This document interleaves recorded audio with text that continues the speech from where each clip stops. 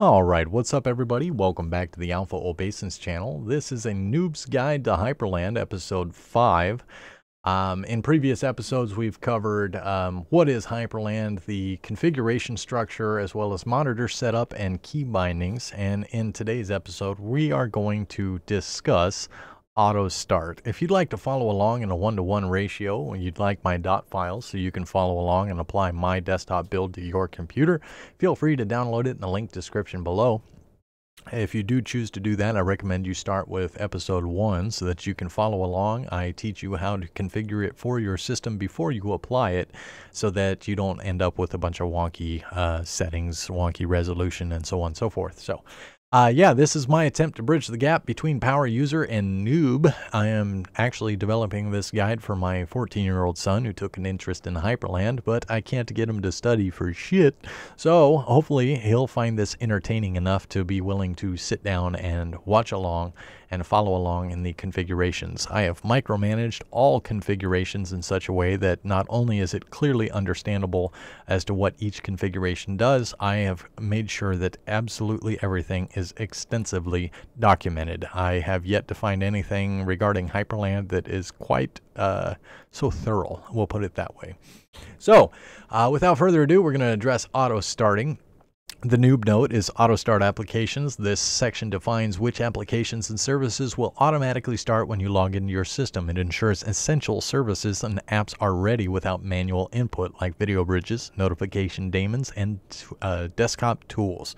Um, tip, any apps you want to run at startup here, you can remove or adjust them as needed. So uh, by default, we have some system applications. I recommend you leave these alone, but I will explain what they do. You've got the X-Wayland uh, video bridge.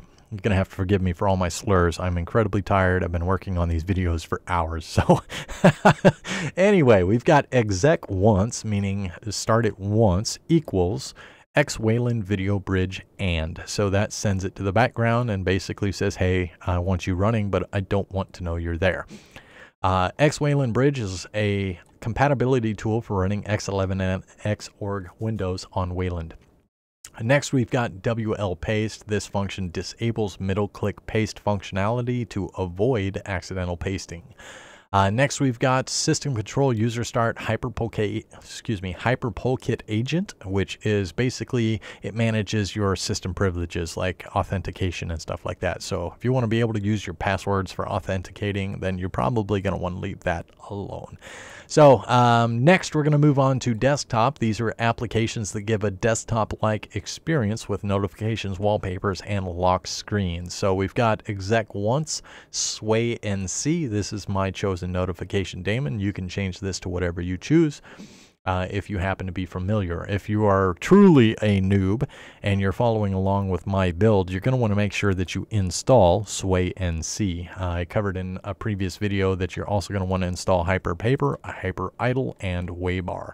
Um, in addition to that, you'll also want Hyprshot for a screenshot utility. But hopefully you're following along in sequence, so that's already been covered. Uh, Sway NC is our notification daemon, so if you get a notification from your system or maybe you get a text message through Signal, what have you. You get a notification, it'll pop up in the top right of the screen with your notification. We exec that once and send it to the background so that it's always running, always listening, ready to notify you when something happens. Hyprpaper. This launches to ensure that your default uh, wallpapers are initialized on boot. It's going to make sure that it preloads all the wallpapers and makes them readily accessible in the event that you use my uh, dynamic wallpaper switching setup. Next, we've got Hypridle, which basically starts the timer for Hypridle in the event that you are not using your computer for X amount of time.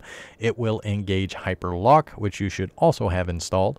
Uh, in which case, after that time has expired and you haven't touched your computer, it will generously lock your screen for privacy and security purposes. So, um, Waybar, that is um, irrelevant for my build, but if you have exec once equals waybar and you have waybar installed, it will actually initialize waybar for you on boot. So if you're uh, you want that status bar, go ahead and install it, and that's where you will auto um, auto launch it on boot. It'll be readily available as soon as you log in. Last but not least, we've got applications. Uh, these are personal and uh, personal applications that you want just for convenience sake. So, for example, I like to have all my social apps open up. They've already got window rules that send them to a specific workspace on a specific monitor. We will talk about that here soon. Uh, I like to have Signal Desktop and Beep Beep and what have yous all launch on boot. So uh, this is where you set your default applications that you just want to be ready and waiting for you the moment you log in, whether it's your browser, your text editor, your terminal, what have you. So hopefully that explains the auto start section. I'm going to keep this one short and sweet, and I appreciate you guys stopping by. Any questions, comments, concerns, or corrections, drop them in the comments section below. Hit the like button if you found this useful. Let me and my son know I'm not as dumb as I look sometimes. I'd really appreciate it. if you like these videos, videos and you're finding them informative, consider smacking the subscribe button. Um, if you want to know when I drop new videos, hit the notification bell and you'll be notified on each drop. So look forward to seeing you all in the next video. Take care and God bless.